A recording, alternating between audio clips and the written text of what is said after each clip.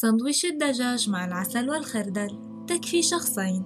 المقادير صدر دجاجة ملعقتي طعام زيت زيتون نصف ملعقة صغيرة ملح نصف ملعقة صغيرة بودرة الكاري ربع ملعقة صغيرة فلفل أسود ملعقة طعام جبنة كريم ملعقة طعام خردل كامل الحبة نصف ملعقة طعام عسل كمشة أوراق جرجير وأربع شرائح خبز. طريقة التحضير. في وعاء.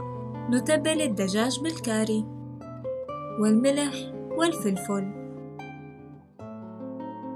نسخن زيت الزيتون في مقلاة. ونطهو فيه الدجاج مدة خمس دقائق لكل جانب.